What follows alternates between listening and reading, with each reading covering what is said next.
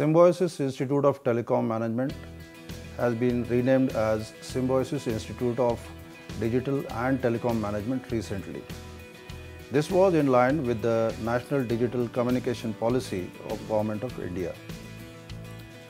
Government is giving importance to digitalization and business transformation is taking place in the market on a large scale. A lot of companies are adopting digitization and hence requirements regarding setting up the infrastructure, managing the infrastructure, running the digital services is very important in the market.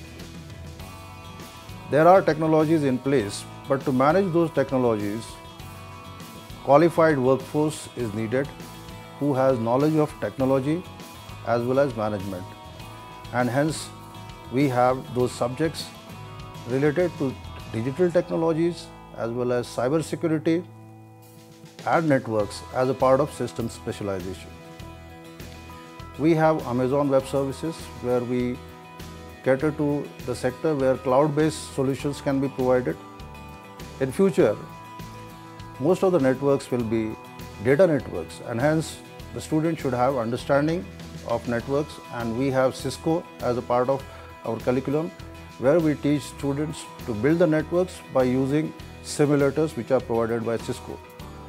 We also provide certifications in the space of cyber security which are also certified by Cisco.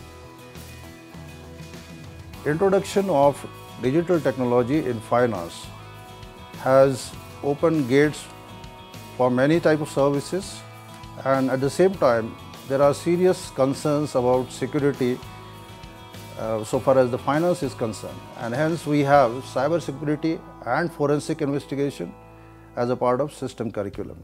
Yeah, the requirement of cyber security expert in the market is quite high and uh, system students have a lot of scope, uh, those who complete those certifications, uh, especially in the area of Cisco. Uh, students have got jobs uh, in the companies like Capgemini, Accenture, TCS, Dimension Data and these profiles include security audit, risk assessment, internal audit, technology management. I feel system specialization has a lot of scope uh, considering the current uh, market trends in the area of cyber security and forensic and I, I suggest that students should take up this course.